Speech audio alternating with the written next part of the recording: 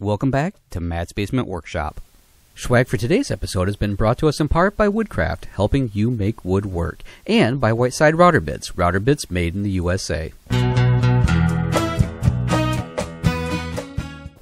Hey everybody, welcome back to Matt's Basement Workshop podcast. All right, it's the beginning of a brand new month, so that means only one thing. That's right, it's time for Router Bit of the Month. All right, once again, the great folks over at Woodcraft and Whiteside Machine Company totally set us up here at the Basement Workshop, and they sent us another great router bit to try out. And of course, as you probably already know by now, one of you lucky listeners will have won this great router bit. So I'm just going to go ahead and throw your name up at the end of today's episode so that, well, you can brag about it to all your friends and tell them that, hey, your name was up at Matt's Basement Workshop podcast. I don't know, is that a good thing or a bad thing? Anyways, though, what do we have? Well, for the entire month of October 2008, Woodcraft is featuring Whiteside Machine Company's round nose core box router bit. That's a lot of words to get all at, all, at once. But essentially what we have here is a great router bit that we could use for doing some really decorative grooving work. Essentially we're going to do this in from the, uh, the edge of any boards.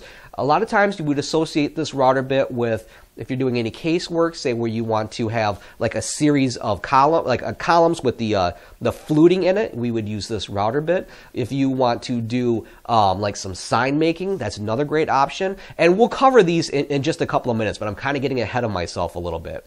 Now, of course, I want to remind everybody that every single month, Woodcraft selects one of the many great profiles that Whiteside Machine Company makes, and they put it on sale all month long. So it makes it just that much easier for you to head on over to your local neighborhood Woodcraft store if you're lucky enough to have one nearby, or you could head online to woodcraft.com or, as of course, as I always do, I'll make sure to put uh, links in the show notes at mattsbasementworkshop.com just to make it that much easier for you to head on over there and pick up one of these great router bits and add to your collection. And the neat thing is, like I said, it's on sale all month long. So of course that means you're gonna have be able to save just a little extra money so you could like maybe I don't know buy some project wood so you can use this great router bit on it.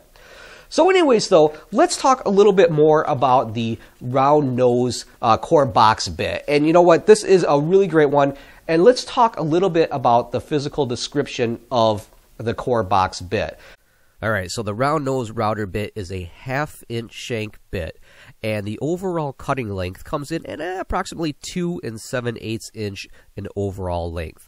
Now let's take a close look at the top here, and we see that we have two cutters that are approximately about a quarter inch radius each. So it's going to remove a lot of material, and it gives us about a half inch overall diameter. So you're getting an idea here that this is a pretty good size bit. Now the cutter length is about one and a quarter inch, so you can do a decent amount of depth with this.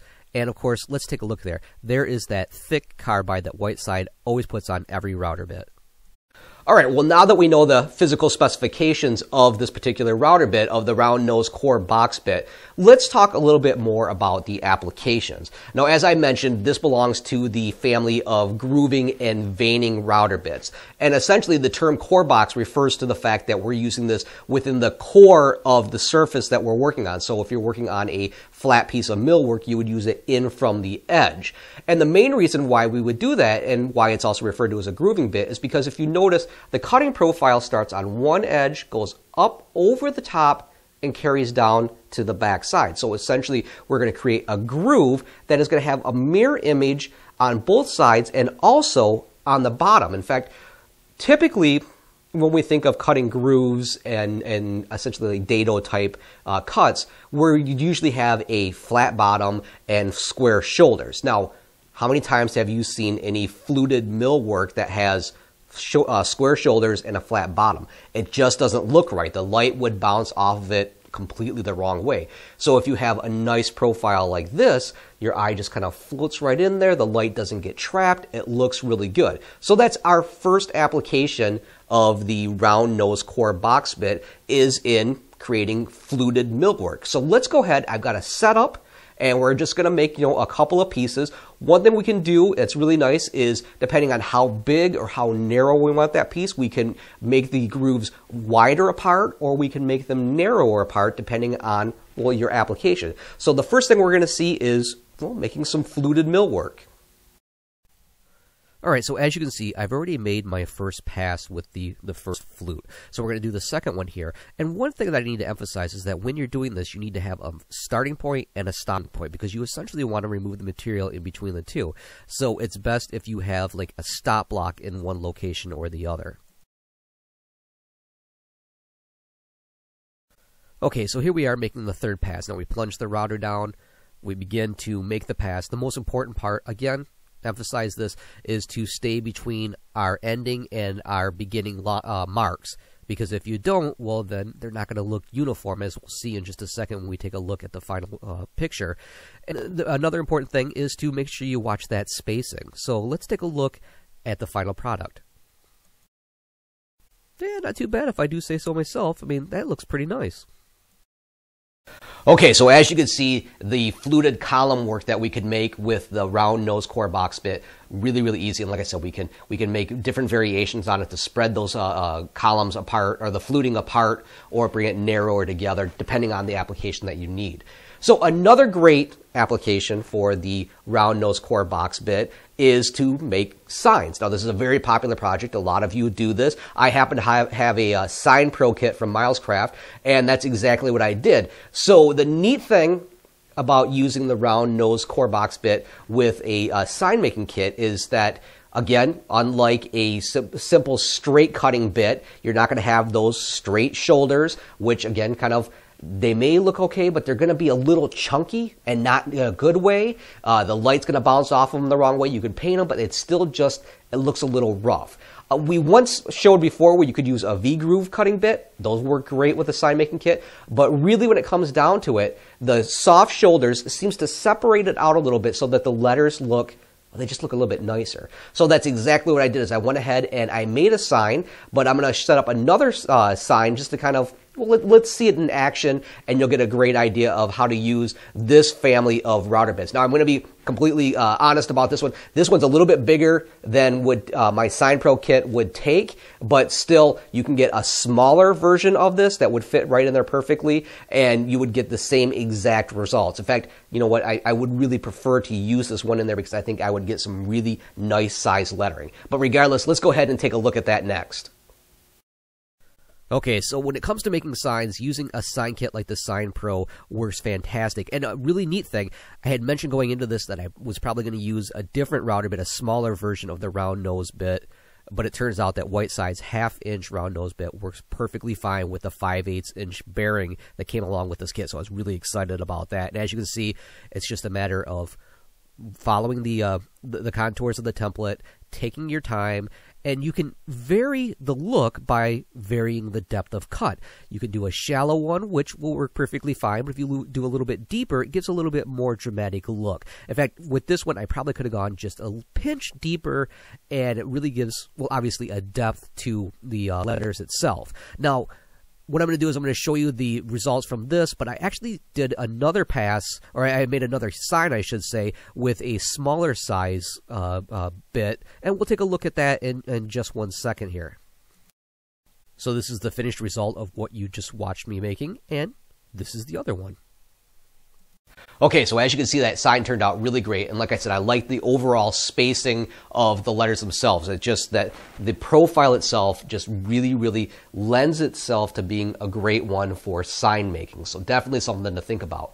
Now, another application, we had talked about the fact that the core box bit is used in from the edge. But, you know what, with a careful setup, either with a really reliable um, uh, fence system or on your router table, you can use the core box bit to the round over core box bit to actually make coving. And that's what we're going to do next because essentially, remember, each cutter is about a quarter inch in radius. So if we kind of bury this in a little bit and then bring the, the material right over the top, we can get a nice quarter inch round cove. And you can use this again for molding, for uh, um, all sorts of different applications anywhere where you want to have like that nice little quarter inch uh, coving uh, profile. So we're going to go ahead and do that. I have mine set up on the router table and we'll take a quick look at that. Okay, so using the round nose bit as a cove bit is really, really easy. Basically, I've decided to set mine up in the router table because I think it was just a little bit faster and a little bit more secure. And pull the fence forward so that only about half the bit is exposed. And as you can see, it's running through, and what you end up getting, and we'll show this in a picture in just a second, is almost a near perfect cove molding.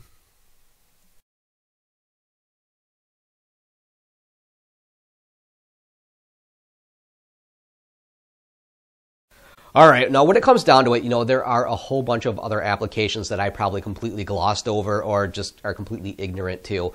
But when it comes down to it, the, the round nose core box bit from Whiteside Machine Company can definitely be one of those workhorses in your shop. I know it seems like it has limited applications, but like I said, I probably glossed over a whole bunch that we didn't even think of.